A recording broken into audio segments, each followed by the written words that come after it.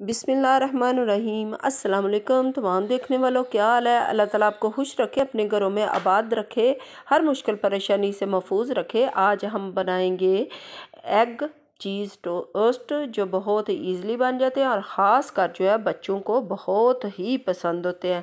تو سب سے پہلے ہم نے کیا کیا؟ مایونیز لگائی، پھر اس کے اوپر ہم نے کیچپ لگائی۔ جی تو کیچپ لگانے کے بعد ہم نے پیاز اور بند گوبھی یہ لی۔ آپ کوشش کریں اسے تھوڑا سا فرائی کر لیں، کیونکہ پیاز جو ہے وہ بچوں کو تھوڑا سا اچھا نہیں لگتا۔ تو آپ اگر تھوڑا سا اسے سوتے کر لیں گے تو یہ پیاز بھی نرم ہو جائے گا اور بچوں کو بہت پسند آئے گا۔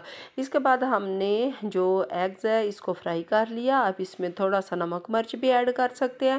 اور ہم نے پہلے چیز لگا دی، چیز لگانے کے بعد آپ کوئی بھی چیز لے جائیں چاہے چیڈر، چیز ہو مزریلا چیز ہو، جو بھی چیز ہو، وہ آپ لگا لیں۔ اگر آپ کے پاس وہ بھی نہ ہو تو آپ مکھن بھی اس میں تھوڑا سا ایڈ کر سکتے ہیں۔ تو یہ دیکھیں جی ہم نے اوپر یہ دوسرا بریڈ رکھ دیا۔ تو اگر آپ کے پاس اس طرح کی ٹوسٹ مشین ہو تو آپ اس کو تھوڑا سا گریس کر لیں۔ تو اس میں رکھ سکتے ہیں۔ اگر آپ نہ ہو تو یہ سیم اسی طرح کا پروسیجر کر کے آپ جو اسے توے پہ بھی کسی نان سٹک توے پہ بھی بنا سکتے ہیں۔ یہ ایزلی بن جاتے ہیں۔ اور یہ دیکھیں جی ماشاءاللہ ریڈ اور گرین بتی جو ہے آن اور ہمارے ٹوسٹ جو ہے وہ بن کے تیار ہو گیا۔ اب بچوں کو اسے لنچ باکس میں دیں اور اس کے ساتھ مجھے اجازت دیں، اپنی دعاؤں میں یاد رکھیں۔